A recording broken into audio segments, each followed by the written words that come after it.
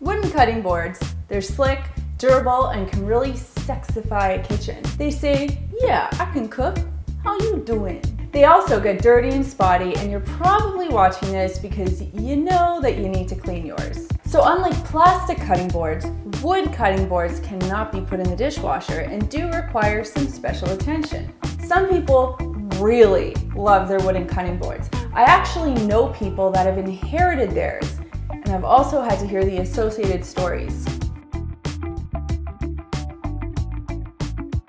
Now just a couple of quick tips about these boards before we get into the cleaning routine. Wood cutting boards are great for most fruits, vegetables, breads, and cheeses. But super soft cheese like brie, raw meat, poultry, and fish, they should be cut on plastic boards only.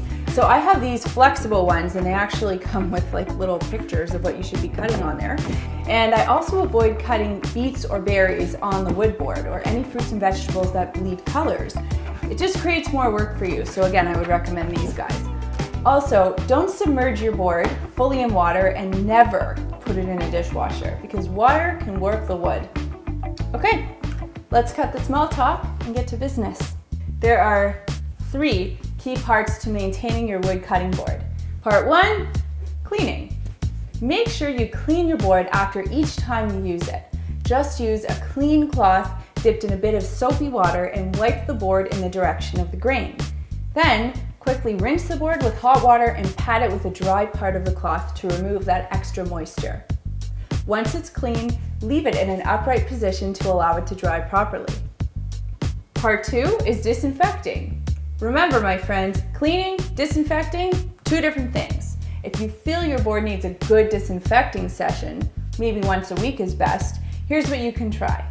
Sprinkle a tablespoon of coarse salt over your cutting board. Now using a lemon cut in half and a little bit of elbow grease, start to scrub the board for a few minutes. As you scrub, squeeze the juice out of the lemon.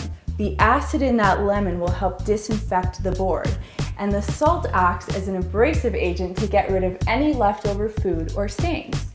Let this sit dampen for about five minutes or so after scrubbing. Then rinse it with hot water and dry it with a paper towel or clean cloth and store it in the upright position. And finally, part three is seasoning. Okay, this doesn't mean that you break out the Mrs. Dash or Molly McButter and sprinkle it on the board. The term seasoning in this case essentially refers to conditioning and moisturizing the wood, similar to what you would do to your hair. You want to prevent moisture loss, drying, cracking, and splitting I sound like a friggin' shampoo commercial. So hair conditioning is not your answer here, but mineral oil or specialty board seasoning oil is. I found this at a big box store, very easy to come across. Anyway, mineral oil is synthetic and it won't go rancid, which means it doesn't go smelly and yucky the way a vegetable oil would. So the way to do it is like this. Warm the oil before spreading it onto your board. So put it in a microwave safe bowl, heat it up for about 20 seconds. Then use a paper towel, dip it in the oil, and rub it onto your board, following the grain of the wood. Now, you don't want the board to be dripping in oil, but you don't want to skimp on the oil either. Apply the oil evenly until the wood stops absorbing the oil. Once you get to that point, use a fresh paper towel to remove all remaining surface oil. Allow the board to dry overnight before using it again. You can season your board about once a month. It's fair to say that this little slab of wood does require some extra attention every now and then, but the next time you're at a party with some kitchen snobs, you can join right into the conversation. Well, I guess as long as the subject is about cleaning your cutting board.